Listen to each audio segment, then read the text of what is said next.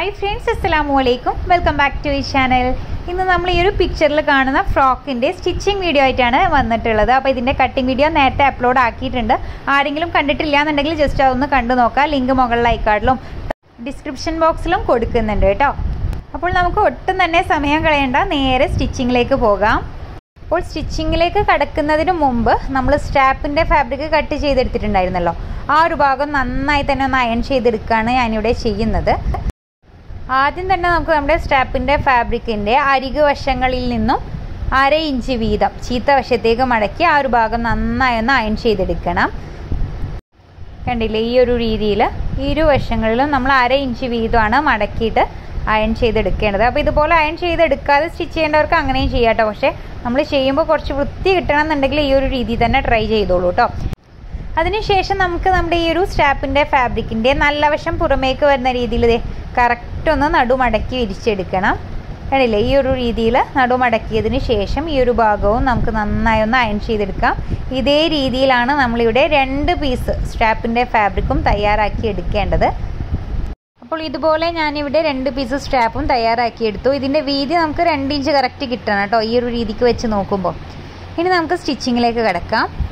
അപ്പോൾ നമ്മൾ ആദ്യം തന്നെ സ്റ്റാപ്പിന്റെ ഇരുവശങ്ങളിലും വെച്ചെടുക്കാൻ വേണ്ടി കട്ട് ചെയ്തെടുത്തിട്ടുള്ള ഫാബ്രിക് പീസ് എടുക്കണം.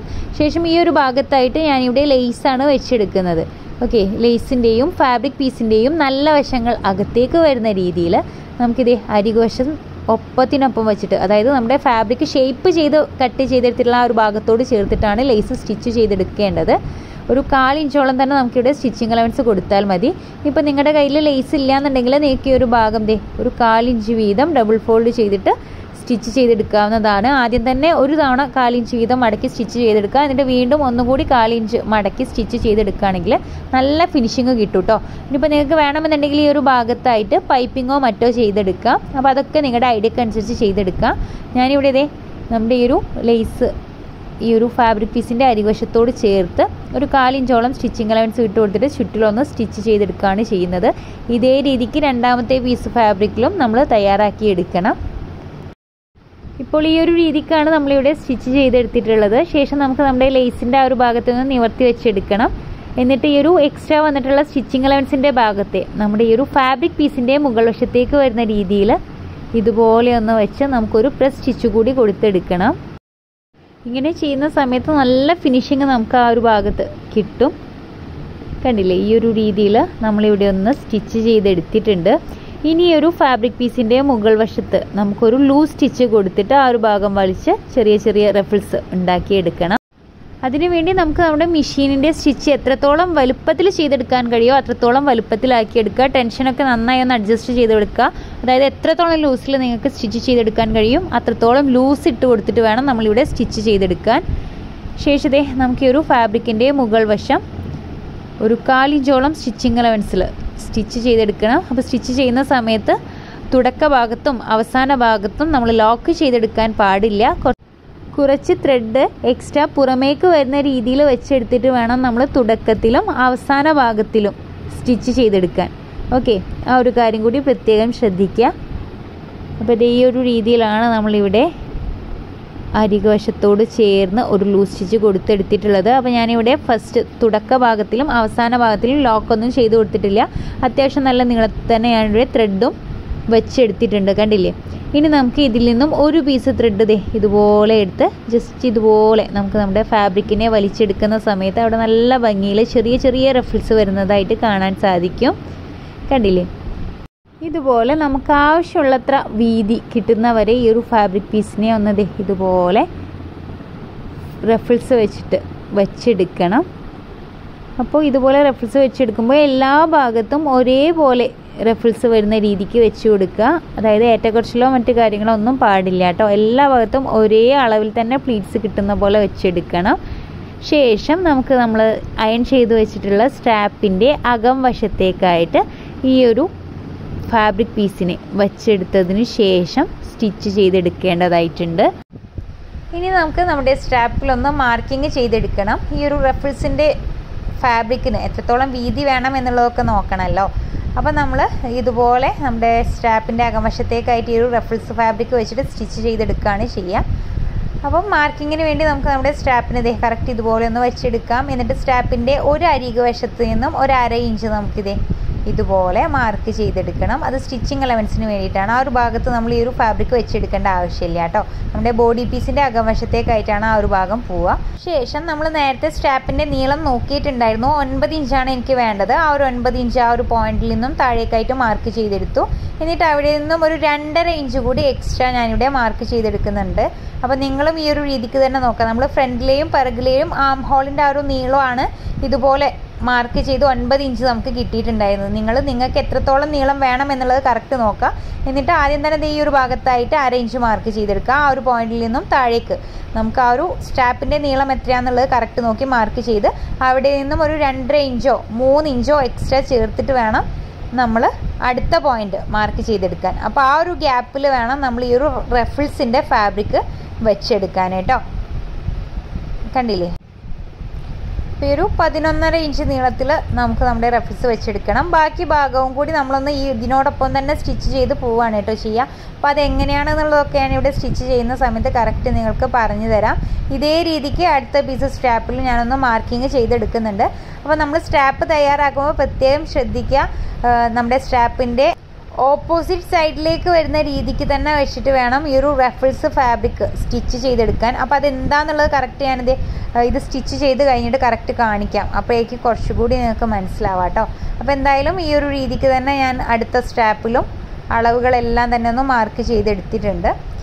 ഇനി നമുക്ക് ആദ്യം തന്നെ ഒരു പീസ് സ്ട്രാപ്പ് തയ്യാറാക്കി എടുക്കണം അപ്പോൾ അതിന് വേണ്ടി സ്ട്രാപ്പ് ഇതേ ഇതുപോലെ ഒന്ന് വെച്ച് നമ്മൾ ആദ്യം മാർക്ക് ചെയ്ത ആ ഒരു അര ഇഞ്ച് ഭാഗമുണ്ടല്ലോ ആ ഒരു ഭാഗത്തിന്റെ അരിവശത്തിലൂടെ ഒന്ന് സ്റ്റിച്ച് ചെയ്തെടുക്കുകയാണ് ചെയ്യുന്നത്.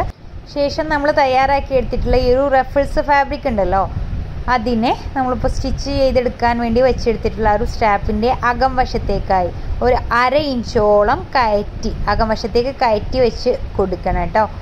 അപ്പോൾ നമ്മൾ നേരത്തെ മാർക്ക് ചെയ്തെടുത്തിട്ടുള്ള ഒരു പതിനൊന്നര ഇഞ്ചിൽ കറക്റ്റ് ഈ ഒരു റെഫിൾസ് വരുന്ന രീതിക്ക് തന്നെ വെച്ചെടുത്തിട്ട് വേണം സ്റ്റിച്ച് ചെയ്തെടുക്കാൻ. ഇതിപ്പോൾ ഞാൻ പറയുമ്പോൾ നിങ്ങൾക്ക് എത്രത്തോളം മനസ്സിലാവുന്നുണ്ട് എന്നുള്ളത് എനിക്കറിയില്ല. നിങ്ങൾ ചെയ്ത് നോക്കുന്ന സമയത്ത് കറക്റ്റ് നിങ്ങൾക്ക് മനസ്സിലാവും കേട്ടോ. വീഡിയോ ഏതെങ്കിലും ഭാഗം മനസ്സിലാവുന്നില്ല എന്നുണ്ടെങ്കിൽ ആ ഒരു ഭാഗം ഒന്ന് രണ്ടോ മൂന്ന് തവണ കണ്ടു നോക്കൂ. തീർച്ചയായിട്ടും മനസ്സിലാവും. ഈ ഒരു രീതിയിൽ നമ്മൾ നമ്മുടെ സ്റ്റാപ്പിന്റെ അകംവശത്തേക്കായി റെഫിൾസ് ഫാബ്രിക്കിനെ വെച്ചെടുക്കുകയാണ് ചെയ്യുന്നത്. ഇപ്പോൾ ഒരു അര ഇഞ്ചോളം തന്നെ അകംവശത്തേക്ക് ഇതുപോലെ ഒന്ന് കയറ്റി വെച്ചെടുക്കണം. ശേഷം നമ്മുടെ സ്റ്റാപ്പിന്റെ മുകളിലെ ഫാബ്രിക്കും താഴ്വശത്തെ ഫാബ്രിക്കും ഒക്കെ ഒപ്പത്തിനൊപ്പം തന്നെ വെച്ചെടുക്കണം കേട്ടോ. എന്നിട്ട് നമ്മളിവിടെ ഒരു കാലിഞ്ച് പോലും സ്റ്റിച്ചിങ് ലെവൻസ് വിട്ട് കൊടുക്കേണ്ട ആവശ്യമില്ല. ജസ്റ്റ് നമ്മുടെ ഒരു സ്റ്റാപ്പിന്റെ ആ ഒരു ഫാബ്രിക്കിന്റെ അരികോശത്തിലൂടെ തൊട്ട അരികോശത്തിലൂടെ തന്നെ സ്റ്റിച്ച് ചെയ്തെടുക്കുക. എങ്കിലേ നമുക്ക് ആ ഒരു കറക്റ്റ് ഫിനിഷിങ് കിട്ടത്തുള്ളൂ. അപ്പോൾ നമ്മളിവിടെ മാർക്ക് ചെയ്ത് വെച്ചിട്ടുള്ള ആ ഒരു പതിനൊന്നര ഇഞ്ച് ഉണ്ടല്ലോ. ആ ഒരു ലെങ്ത്തിൽ തന്നെ ഈ ഒരു റെഫറൻസ് ഫാബ്രിക് സ്റ്റിച്ച് ചെയ്ത് നിർത്താൻ വേണ്ടി പ്രത്യേകം ശ്രദ്ധിക്കുക. ശേഷം ആ ഒരു ഭാഗത്ത് ഞാനൊന്ന് ലോക്ക് ഇട്ട് കൊടുക്കുന്നുണ്ട്. കൂടാതെ നമ്മുടെ സ്റ്റാപ്പിന്റെ താഴ്വശത്തേക്കും ഇതേ രീതിക്ക് തന്നെ നമ്മൾ സ്റ്റിച്ച് ചെയ്തെടുക്കുകയാണ് ചെയ്യേണ്ടത്. അപ്പോൾ സ്റ്റാപ്പിന്റെ താഴ്വശത്ത് നമുക്ക് ഇതുപോലെ അരഞ്ച് വീതം അകംവശത്തേക്കായിട്ട് മുകൾ വശത്തേക്ക് മടക്കി ആ ഒരു ഭാഗം കൂടി കറക്റ്റ് ഫിനിഷിങ് ചെയ്തിട്ട് സ്റ്റിച്ച് ചെയ്തെടുക്കണം. എന്നിട്ട് ഇതേ ഇതുപോലെ നമ്മുടെ സ്റ്റാപ്പിന്റെ ഈ ഒരു അരികു വശവും അടുത്ത സൈഡ് വശവും കൂടി നമ്മളിത് ഇതുപോലെ ഒന്ന് സ്റ്റിച്ച് ചെയ്തെടുക്കുകയാണ് ചെയ്യുന്നത്. അപ്പോൾ ഇതുപോലെ സ്റ്റിച്ച് ചെയ്തെടുക്കുമ്പോൾ ഞാൻ നേരത്തെ പറഞ്ഞ പോലെ സ്റ്റാപ്പിന്റെ അരികുവശത്തിനോട് ചേർത്ത് തന്നെ സ്റ്റിച്ച് ചെയ്തെടുക്കാൻ പ്രത്യേകം ശ്രദ്ധിക്കുക. നമ്മൾ ഒരുപാട് സ്റ്റിച്ചിങ് അലവൻസ് ഒന്നും വിട്ട് കൊടുക്കേണ്ട ആവശ്യമില്ല. എങ്കിൽ മാത്രമേ നമുക്ക് കറക്റ്റ് ആ ഒരു പെർഫെക്റ്റ് ഫിനിഷിങ് കിട്ടത്തുള്ളൂ. അപ്പോൾ ഈ ഒരു രീതിക്കാണ് നമ്മൾ നമ്മുടെ സ്ട്രാപ്പ് തയ്യാറാക്കി എടുത്തിട്ടുള്ളത്. ഈ ഒരു എക്സ്ട്രാ റെഫിൾസിന്റെ ഫാബ്രിക് നമുക്ക് സ്ലീവിന്റെ ആ ഒരു ഭാഗത്തേക്കായിട്ട് നല്ല എന്താ പറയുക നല്ല ഭംഗിക്ക് തന്നെ കിട്ടും കേട്ടോ അപ്പോൾ ചെയ്ത് നോക്കുമ്പോൾ നിങ്ങൾക്ക് മനസ്സിലാവും. നല്ല ഫിനിഷിങ്ങിൽ നമുക്ക് കിട്ടിയിട്ടുണ്ട്. ഇതേ രീതിക്ക് നമുക്ക് നമ്മുടെ രണ്ടാമത്തെ സ്റ്റാപ്പും തയ്യാറാക്കി എടുക്കണം. അപ്പോൾ ഞാൻ നേരത്തെ പറഞ്ഞ പോലെ അതെ ഈ ഒരു രീതിക്ക് നമ്മുടെ സ്റ്റാപ്പിന്റെ ഒരു ഭാഗത്ത് എങ്ങനെയാണോ വെച്ചത് അതിന്റെ ഓപ്പോസിറ്റ് സൈഡിലേക്കായിട്ട് വേണം നമ്മൾ റഫിൾസ് തയ്യാറാക്കി എടുക്കാൻ. അപ്പോൾ ഞാനിവിടെ രണ്ട് പീസ് സ്റ്റാപ്പും തയ്യാറാക്കി എടുത്തിട്ടുണ്ട്. ഇനി നമുക്ക് ഫ്രണ്ടിലുള്ള ബോഡി പീസുമായിട്ട് ഇതൊന്ന് സ്റ്റിച്ച് ചെയ്തെടുക്കണം. കണ്ടില്ല? നല്ല ഫിനിഷിങ് തന്നെ നമ്മളിവിടെ ചെയ്തെടുത്തിട്ടുണ്ട്. ഓക്കെ ഇനി നമുക്ക് ഫ്രണ്ടിലുള്ള ബോഡി പീസ് എടുക്കാം. അപ്പോൾ നമുക്ക് കട്ട് ചെയ്തെടുത്തിട്ടുള്ള നമ്മുടെ ഫ്രണ്ടിലുള്ള ബോഡി പീസിന്റെ ഫാബ്രിക് പീസിന്റെ നല്ല വശങ്ങൾ അകത്തേക്ക് വരുന്ന രീതിയിൽ ഒന്നിനു മുകളിൽ ഒന്നായിട്ട് ഇതുപോലെ വിരിച്ചെടുക്കുക. ഞാനിവിടെ രണ്ട് പീസ് ഫാബ്രിക്കും നല്ല തുണിയിൽ തന്നെയാണ് കട്ട് ചെയ്തെടുത്തിട്ടുള്ളത്. നിങ്ങൾക്ക് വേണമെന്നുണ്ടെങ്കിൽ ഒരു പീസ് ലൈനിങ് പീസിൽ കട്ട് ചെയ്തെടുക്കുക കേട്ടോ. ശേഷം നമുക്കിത് ഈ ഒരു ആം ഹോളിന്റെ ഭാഗത്തായിട്ട് ഒരു കാലിഞ്ചോളം അല്ലെങ്കിൽ ഒരു അര ഇഞ്ചോളം സ്റ്റിച്ചിങ് അലവൻസ് ഇട്ട് കൊടുത്തിട്ട് ചുറ്റിലും സ്റ്റിച്ച് ചെയ്തെടുക്കണം. അപ്പോൾ ഇതേ ഈ ഒരു രീതിക്ക് ഇരുവശങ്ങളിലുമായിട്ട് നമ്മൾ സ്റ്റിച്ച് ചെയ്തെടുത്തതിന് ശേഷം ഇപ്പോൾ നമ്മൾ സ്റ്റിച്ച് ചെയ്തെടുത്തിട്ടുള്ള ആ ഒരു സ്റ്റിച്ചിങ് അലവൻസിന്റെ ഫാബ്രിക്കിനെ ഞാനിവിടെ ജസ്റ്റ് ഇതുപോലെ ഒന്ന് കട്ടിട്ട് കൊടുക്കുകയും കൂടി ചെയ്തിട്ടുണ്ട്. അപ്പോൾ ഒരു ത്രെഡ് കട്ട് ചെയ്ത് പോകാൻ പാടില്ല കേട്ടോ. ഇനി നമ്മുടെ സ്ട്രാപ്പിന്റെ ഫാബ്രിക്കിനെ നമുക്കൊന്ന് എടുക്കണം. ശേഷം നമ്മളിത് ഈ ഒരു ആം ഹോളിന്റെ ഭാഗത്തായിട്ട് സ്ട്രാപ്പ് വരുന്ന രീതിക്ക് വേണം വെച്ചെടുക്കാൻ. അപ്പോൾ നമ്മുടെ ബോഡി പീസിന്റെ നല്ല വശവും സ്ട്രാപ്പിന്റെ നല്ല വശവും അകം വശത്തേക്ക് വരുന്ന രീതിയിൽ വെച്ചിട്ട് വേണം സ്റ്റിച്ച് ചെയ്തെടുക്കാൻ. ശേഷം ഇപ്പോൾ നമ്മൾ സ്റ്റിച്ച് ചെയ്തെടുത്തിട്ടുള്ള ആ ഒരു ആം ഹോളിന്റെ ഭാഗം ഉണ്ടല്ലോ ആ ഒരു ഭാഗത്തോട് ചേർത്ത് വെച്ച് കണ്ടില്ലേ ഫാബ്രിക് പീസിന്റെ അരികുവശവും ബോഡി പീസിന്റെ അരികുവശവും ഒക്കെ ഒപ്പത്തിനൊപ്പം വെച്ചിട്ട് ഈ ഒരു രീതിക്ക് കറക്റ്റ് ലെവൽ ചെയ്ത് വെച്ചിട്ട് വേണം നമുക്ക് ഈ ഒരു ഭാഗം ഒന്ന് സ്റ്റിച്ച് ചെയ്ത് കൊടുക്കാൻ. അപ്പോൾ നമ്മളിവിടെ ഒരു അറേഞ്ച് തന്നെ സ്റ്റിച്ചിങ് അലവൻസ് ഇട്ട് കൊടുത്താൽ മതിയാവും. ആദ്യം നമുക്ക് ഈ ഒരു ഭാഗം ഒന്ന് പിൻ ചെയ്തെടുക്കാം. ഇതേ രീതിയിൽ രണ്ടാമത്തെ ഭാഗത്തും നമുക്ക് നമ്മുടെ സ്ട്രാപ്പ് ഒന്ന് വെച്ച് കൊടുക്കണം. അപ്പോൾ സ്ട്രാപ്പിന്റെ റെഫിൾസ് ഭാഗം ഉണ്ടല്ലോ നമ്മൾ തയ്യാറാക്കി എടുത്തിട്ടുള്ളത് ആ ഒരു ഭാഗം ആം ഹോളിന്റെ ഭാഗത്തേക്ക് വരുന്ന രീതിക്ക് തന്നെ വെച്ചിട്ട് വേണം ഇതുപോലെ പിൻ ചെയ്തെടുക്കാൻ. ബോഡി പീസിന്റെയും സ്ട്രാപ്പിന്റെ ഫാബ്രിക്കിന്റെയും നല്ല വശങ്ങൾ അകംവശത്തേക്ക് വരുന്ന രീതിയിൽ ഒപ്പത്തിനൊപ്പം വേണം വെച്ചെടുക്കാൻ. ലൈനിങ് പീസിന്റെ ഭാഗത്തേക്ക് ആവരുത്. നമ്മുടെ ഈ ഒരു സ്ട്രാപ്പിന്റെ നല്ല വശം വെച്ചെടുക്കേണ്ടത്. നമ്മൾ ഈ ഒരു ബോഡി പീസിന്റെ ഭാഗത്തേക്ക് തന്നെ വെച്ചിട്ട് വേണം ഈ ഒരു സ്റ്റാപ്പിന്റെ നല്ല വശവും വെച്ചെടുക്കാൻ കേട്ടോ. അത് മാറിപ്പോവാൻ പാടില്ല. അതുകൊണ്ടാണ് ഡീറ്റെയിൽ ആയിട്ട് വീണ്ടും പറഞ്ഞത് കേട്ടോ. ഇതേ രീതിക്ക് നമുക്ക് രണ്ടാമത്തെ വശത്തും സ്ട്രാപ്പിന്റെ ഈ ഒരു അരികുവശവും നമ്മുടെ ബോഡി പീസിന്റെ ഇതേ ഈ ഒരു മുകൾ വശത്തെ അരികുവശവും നമ്മളിപ്പോൾ സ്റ്റിച്ച് ചെയ്തെടുത്തിട്ടുള്ള ആം ഹോളിന്റെ ആ ഒരു ഭാഗത്തേക്ക് ചേർത്ത് വെച്ച് പിൻ ചെയ്തെടുക്കാം. ശേഷം നമുക്ക് ഈ ഒരു ഭാഗത്തായി ഒരു അര ഇഞ്ചോളം സ്റ്റിച്ചിങ് ലെവൻസ് കൊടുത്ത് മുകൾ വശം മൊത്തത്തിലൊന്ന് സ്റ്റിച്ച് ചെയ്തെടുക്കുകയാണ് ചെയ്യുന്നത്. കാരണം ഈ ഒരു രീതിക്ക് വെച്ചിട്ട് നമുക്കിവിടെ മൊത്തത്തിലൊന്ന് ഒരു അര ഇഞ്ചോളം സ്റ്റിച്ചിങ് അലവൻസ് ഇട്ട് കൊടുത്തിട്ട് സ്റ്റിച്ച് ചെയ്തെടുക്കാം. അപ്പോൾ ഞാനിവിടെ സ്റ്റാപ്പിന്റെ ആ ഒരു ഭാഗത്ത് ഡബിൾ സ്റ്റിച്ച് കൊടുക്കുന്നുണ്ട് കേട്ടോ. ദേ ഇതുപോലെയാണ് ഇപ്പോൾ നമ്മൾ ഈ ഒരു ബോഡി പീസിന്റെ മുകൾ വശം സ്റ്റിച്ച് ചെയ്തെടുത്തിട്ടുള്ളത്. ഇനി പിന്നെല്ലാം ഊരി മാറ്റിയതിന് ശേഷം നമുക്കിതേ നമ്മുടെ ബോഡി പീസിന്റെ നല്ല വശം പുറമേക്ക് വരുന്ന രീതിയിൽ കറക്റ്റ് ഒന്ന് ദേ ഇതുപോലെ വെച്ചെടുക്കണം. എന്നിട്ട് ഇപ്പോൾ നമ്മൾ സ്റ്റിച്ച് ചെയ്തെടുത്തിട്ടുള്ള ഒരു ആം ഹോളിന്റെ ഭാഗവും ബോഡി പീസിന്റെ മുകൾ വശവും ഒക്കെ ഒരു പ്രസ് സ്റ്റിച്ച് കൂടി കൊടുത്തെടുക്കണം. എങ്കിലേ നമുക്ക് ആ കറക്റ്റ് ഫിനിഷിങ് കിട്ടത്തുള്ളൂ. അപ്പോൾ നമ്മളിവിടെ അധികം സ്റ്റിച്ചിങ് അലവൻസ് ഒന്നും വിട്ടു കൊടുക്കേണ്ട ആവശ്യമില്ല. നമ്മുടെ ബോഡി പീസിന്റെ തൊട്ട് അരിവശത്തിലൂടെ തന്നെ സ്റ്റിച്ച് ചെയ്തെടുക്കാൻ വേണ്ടി പ്രത്യേകം ശ്രദ്ധിക്കുക. എങ്കിലേ നമുക്ക് ആ കറക്റ്റ് ഫിനിഷിങ് കിട്ടത്തുള്ളൂ. പിന്നെ അതുപോലെ തന്നെ എനിക്കിവിടെ ഇതേ ഈ ഒരു റഫിളിന്റെ ഫാബ്രിക്കിന്റെ താഴ്വശം നല്ല ഫിനിഷിങ്ങിലാണ് കിട്ടിയിട്ടുള്ളത്. അപ്പോൾ അതുകൊണ്ട് തന്നെ ഞാൻ ഈ ഒരു ഭാഗം സ്റ്റിച്ച് ചെയ്തെടുത്തിട്ടില്ല. നിങ്ങൾക്ക് വേണമെന്നുണ്ടെങ്കിൽ ഒരു കാലിഞ്ച് വീതം ഡബിൾ ഫോൾഡ് ചെയ്ത് ഈ ഒരു ഭാഗം സ്റ്റിച്ച് ചെയ്തെടുക്കാവുന്നതാണ്. അപ്പോൾ നമ്മുടെ ഫ്രണ്ടിലെ ബോഡി പീസ് നമ്മൾ തയ്യാറാക്കിയെടുത്തു. ഇനി നമുക്ക് നമ്മുടെ പിറകിലുള്ള ബോഡി പീസാണ് തയ്യാറാക്കേണ്ടത്. അതിനുവേണ്ടി നമ്മൾ കട്ട് ചെയ്ത് വെച്ചിട്ടുള്ള ബോഡി പീസിനെ രണ്ട് പീസ് ഫാബ്രിക് എടുക്കണം. ശേഷം ഈ ഒരു ബോഡി പീസിന്റെ സെന്റർ ഭാഗം നമുക്ക് ആദ്യം തന്നെ ഒന്ന് മാർക്ക് ചെയ്തെടുക്കുകയും കൂടി ചെയ്യണം. നമുക്ക് ഈ ഒരു ഭാഗത്തായിട്ട് നമ്മുടെ സ്റ്റാപ്പ് വെച്ചെടുക്കാനുള്ള ലൂപ്പ് തയ്യാറാക്കി എടുക്കേണ്ടതായിട്ടുണ്ട് കേട്ടോ. അപ്പോൾ അതിന് വേണ്ടിയാണ് നമ്മൾ ഈ ഒരു സെന്റർ ഭാഗം കറക്റ്റ് ഒന്ന് മാർക്ക് ചെയ്തെടുത്തിട്ടുള്ളത്. ഇനി നമുക്ക് നമ്മുടെ ബോഡി പീസിന്റെ നല്ല വശങ്ങൾ അകത്തേക്ക് വരുന്ന രീതിയിൽ ഒപ്പത്തിനൊപ്പം വെച്ചെടുത്തതിന് ശേഷം ചെസ്റ്റ് ഭാഗത്ത് നിന്നും ഒരു കാലിഞ്ചോളം സ്റ്റിച്ചിങ് അലവൻസ് കൊടുത്ത് ഒന്ന് സ്റ്റിച്ച് ചെയ്തെടുക്കാം. അപ്പോൾ ഇതേ ഈ ഒരു രീതിയിൽ ഞാനിവിടെ ഒരു കാലിഞ്ചോളം സ്റ്റിച്ചിങ് അലവൻസ് കൊടുത്ത് ചെസ്റ്റ് ലൈൻ ഒന്ന് സ്റ്റിച്ച് ചെയ്തെടുത്തു. ശേഷം നമുക്ക് നമ്മുടെ ബോഡി പീസിന്റെ നല്ല വശം പുറമേക്ക് വരുന്ന രീതിയിൽ ഇതേ ഇതുപോലെ ഒന്ന് പുറം തിരിച്ചെടുക്കണം. ശേഷം നമുക്ക് ഈ ഒരു ഭാഗത്തായിട്ട് ഇലാസ്റ്റിക് വെച്ചെടുക്കേണ്ടതായിട്ടുണ്ട്. അപ്പോൾ ഞാനിവിടെ ഒരു ഇഞ്ച് വീതിയുള്ള ഇലാസ്റ്റിക്കാണ് വെച്ചെടുക്കുന്നത്. നിങ്ങൾക്ക് അര ഇഞ്ച് വീതിയുള്ള ഇലാസ്റ്റിക് വേണം എന്നുണ്ടെങ്കിൽ ഈ ഒരു ഭാഗത്ത് വെച്ച് കൊടുക്കാം. അപ്പോൾ നമ്മുടെ ചെസ്റ്റ് വിടുത്ത് ടോട്ടൽ ചെസ്റ്റ് റൗണ്ട് എത്രയാണോ അതിന്റെ പകുതി ആയിരിക്കുമല്ലോ പിറകുവശത്ത് വേണ്ടത്. അതിൽ നിന്നും രണ്ട് ഇഞ്ച് കുറച്ചിട്ടാണ് ഞാൻ ഇവിടെ ഇലാസ്റ്റിക് എടുക്കുന്നത്. നിങ്ങൾക്ക് വേണമെന്നുണ്ടെങ്കിൽ ഒരു ഇഞ്ച് കുറച്ചെടുത്താലും മതി കേട്ടോ അപ്പോൾ എനിക്ക് ടോട്ടൽ ചെസ്റ്റ് റൗണ്ട് വരുന്നത് ഇരുപത്തി ആറ് ഇഞ്ചാണ്. അതിന്റെ പകുതി പതിമൂന്ന് ഇഞ്ച്. അതിൽ നിന്നും രണ്ട് ഇഞ്ച് കുറച്ച് കഴിഞ്ഞാൽ പതിനൊന്ന് ഇഞ്ചാണ് നമുക്കിവിടെ വേണ്ടത് കേട്ടോ. അപ്പോൾ ഇതേ കറക്റ്റ് പതിനൊന്ന് ഇഞ്ച് ഞാൻ ഇവിടെ ഒന്ന് കട്ട് ചെയ്തെടുക്കുന്നുണ്ട്. ശേഷം ഇപ്പോൾ നമ്മൾ സ്റ്റിച്ച് ചെയ്തെടുത്തിട്ടുള്ള ആ ഒരു ചെസ്റ്റ് ലൈൻ ഉണ്ടല്ലോ ആ ഒരു ഭാഗത്ത് ഒരു പ്രസ് സ്റ്റിച്ച് കൊടുത്തെടുക്കുകയാണ് ചെയ്യുന്നത്. അപ്പോൾ ഫാബ്രിക് പീസിന്റെ നല്ല വശങ്ങൾ പുറമേക്ക് വരുന്ന രീതിയിൽ തന്നെ വെച്ചിട്ട് വേണം നമ്മൾ ഇതുപോലെ പ്രസ് സ്റ്റിച്ച് ചെയ്തെടുക്കാൻ. കൂടാതെ ഒരു ഇഞ്ച് ഗ്യാപ്പ് വിട്ടിട്ട് നമ്മളിത് ഇതുപോലെ ഈ ഒരു ഭാഗത്ത് നിന്നും താഴ്വശത്തേക്കായിട്ട് ഒരു സ്റ്റിച്ച് കൂടി കൊടുത്തെടുക്കുന്നുണ്ട്. അപ്പോൾ ഈ ഒരു ഭാഗത്തൊക്കെ നിങ്ങൾക്ക് വേണമെന്നുണ്ടെങ്കിൽ ഒരു ഇഞ്ചോളം മാർക്ക് ചെയ്ത് വരച്ചെടുത്തിട്ട് സ്റ്റിച്ച് ചെയ്യേണ്ടവർക്ക് അങ്ങനെ ചെയ്തെടുക്കാം കേട്ടോ. ഞാനിവിടെ റഫായിട്ടാണ് ചെയ്തെടുക്കുന്നത്. കണ്ടില്ലേ ഈ ഒരു രീതിക്ക് ഞാനിവിടെ ഒന്ന് സ്റ്റിച്ച് ചെയ്തെടുത്തു.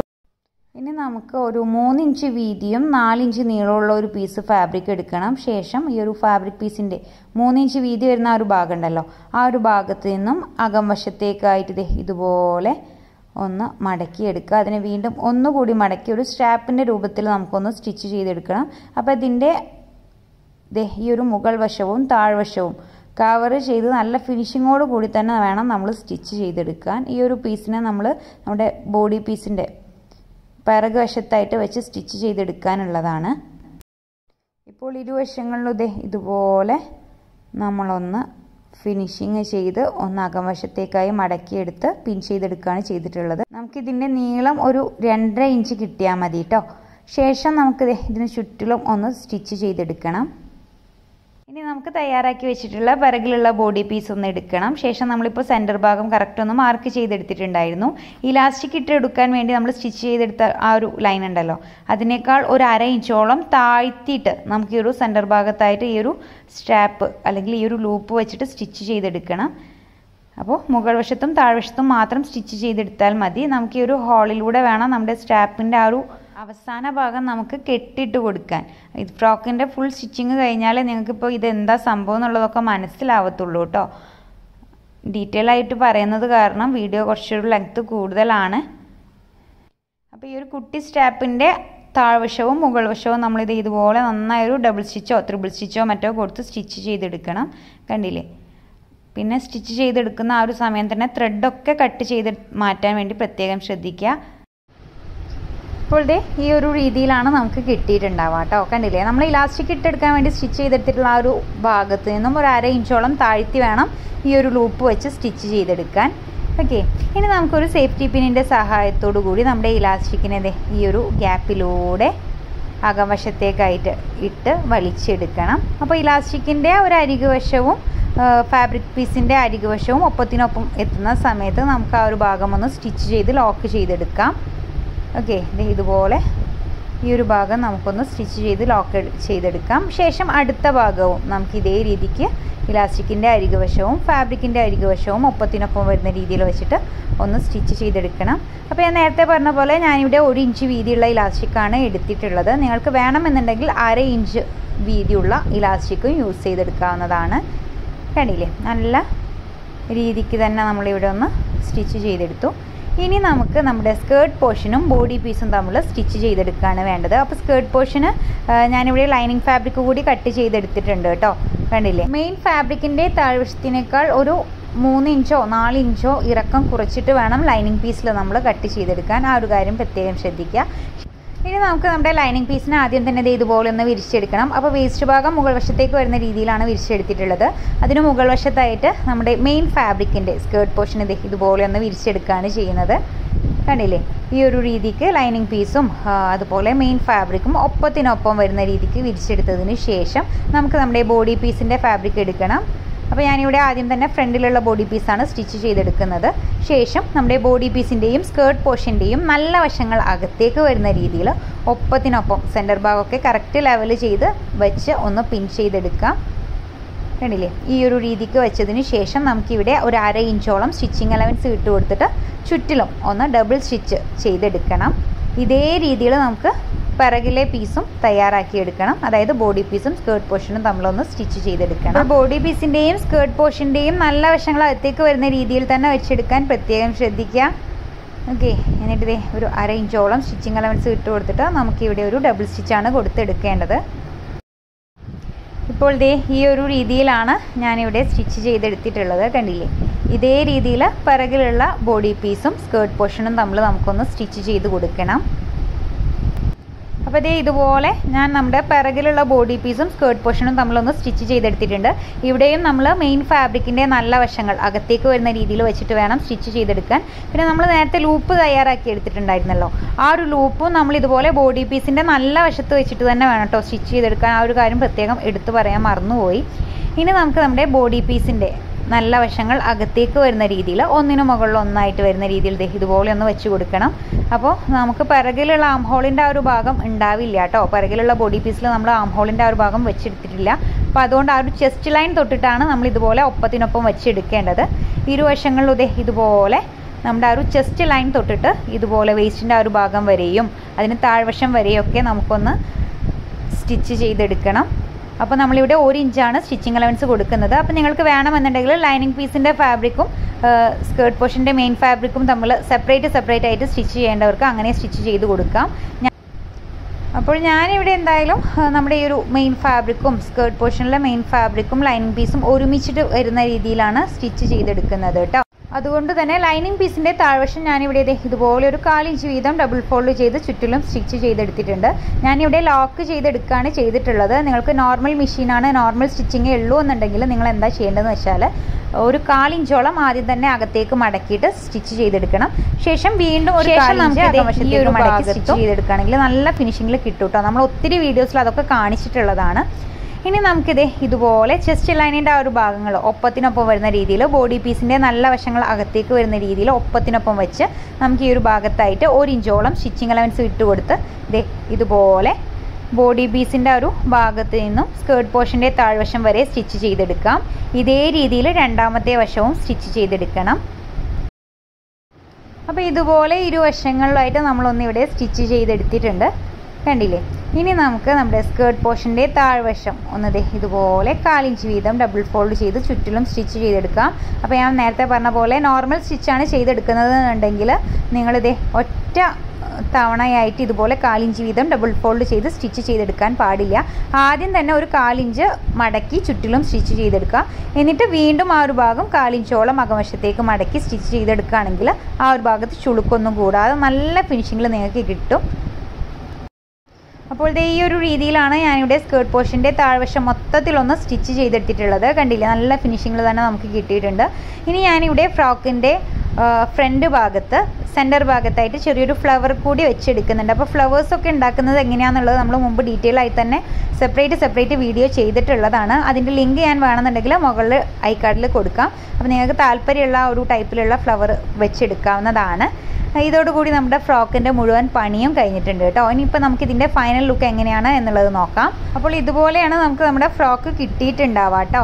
ഇതിപ്പോൾ ഇങ്ങനെ വെച്ച് നോക്കുമ്പോൾ നിങ്ങൾക്ക് കറക്റ്റ് മനസ്സിലാവണമെന്നില്ല. ഇട്ട് കാണുമ്പോഴേ അതിന്റെ ആ ഒരു ഭംഗി നിങ്ങൾക്ക് മനസ്സിലാവത്തുള്ളൂ. അപ്പോൾ ഞാനിവിടെ സാധാരണ നൈറ്റി മെറ്റീരിയൽ വെച്ചിട്ടാണ് ചെയ്തിട്ടുള്ളത്. നിങ്ങൾ ചെയ്യുന്ന ഫാബ്രിക് ഏതൊരു രീതിയിലുള്ളതാണോ അതിനനുസരിച്ചിട്ടായിരിക്കും ചെയ്ത് കഴിഞ്ഞാലുള്ള ആ ഒരു ഭംഗി കിട്ടുക കേട്ടോ. അപ്പോൾ നല്ല മെറ്റീരിയൽ വെച്ചൊക്കെ ചെയ്യുകയാണെങ്കിൽ നല്ല അടിപൊളിയായിട്ട് തന്നെ കിട്ടും. നമ്മുടെ ആ ഒരു സ്ലീവിന്റെ ഭാഗമൊക്കെ വന്നിട്ടുള്ളത് നിങ്ങൾക്ക് കാണാം. നല്ല ഭംഗി തന്നെ കിട്ടിയിട്ടുണ്ട്. ഞാൻ ജസ്റ്റ് അപ്പോൾ ഈ ഒരു സ്ട്രാപ്പ് എങ്ങനെയാണ് കെട്ടേണ്ടതെന്ന് വെച്ചാൽ നമ്മളിത് ഈ പിറകിൽ ഈ ഒരു ലൂപ്പ് തയ്യാറാക്കി എടുത്തിട്ടുണ്ടായിരുന്നല്ലോ.